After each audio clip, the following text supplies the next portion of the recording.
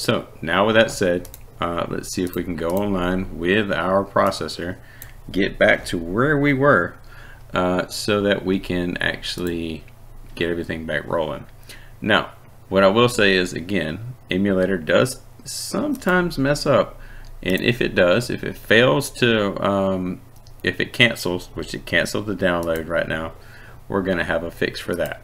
So what I'm going to do is I'm going to close emulator. It's going to say error right here. It's going to close because it failed to power up. It's going to close all of them. I'm going to open up Task Manager, right? And I'm going to have my Task Manager open. And then I'm going to come in here to Task Manager and I'm going to look for everything that says emulate right here. So this right here says emulate Logix. I'm going to end every one of these.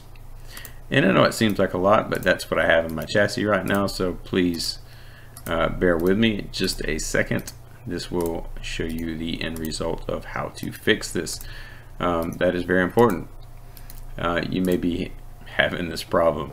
So uh, very powerful again.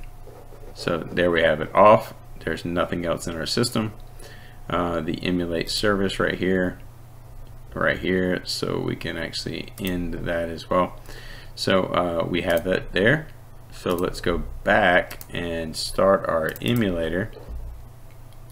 And what we're going to see here when we start our emulator is it will open up and then every processor will be faulted out. So the original problem and the original problem that Rockwell needs to fix with this emulator right now is that the processors were previously in a fatal error. Although you could not right click it at that point to utilize them okay? So um, with our uh, focus uh, working on this system while we wait on these to fault out because they will fault out here in the probably next minute uh, we're going to go ahead and talk about these lights. So based upon the controls and based upon the bits we are currently using and we discussed that based upon the uh, tags over here so the tags in the light on we talked about right here. Uh, this is the bit I'm actually referring to. So in the destination of this so we talked about the expression right? So this is indirectly addressing an array and that array value is being loaded into the destination. So in this focus, um, the, if the destination right now is 1, it's pointed to 1. Okay, so if we look at that, if we look at the, and let's look at the, uh, it's called traffic light control. Okay, so traffic light control. If we look at 1, right here, that's the array it would be pointing to, then these bits would be active. Okay, this bit and this bit. So with that token, that's what I used over here, right?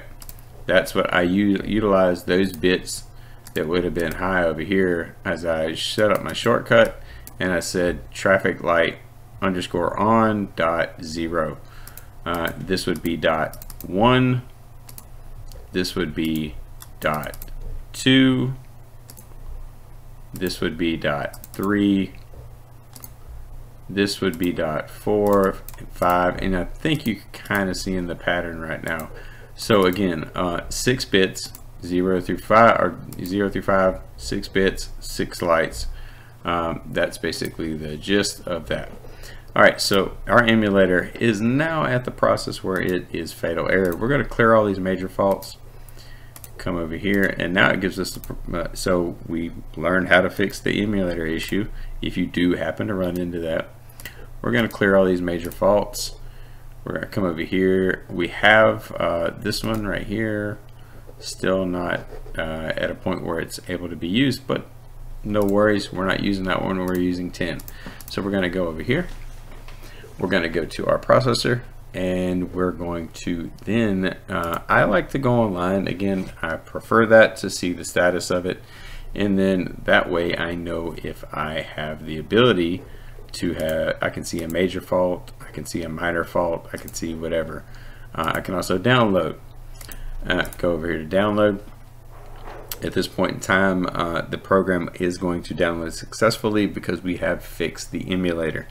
All right, so we're going to get back into the FAL instruction and forgive me for how long this video is but the detail and the orientation behind this video is going to help a lot of people uh, if you do uh, follow um, so right now we're going to throw this back in run mode it is running